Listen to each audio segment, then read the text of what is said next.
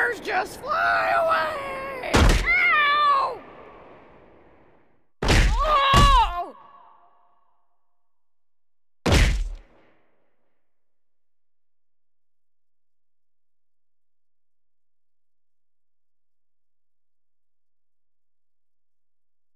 Can someone remind me why?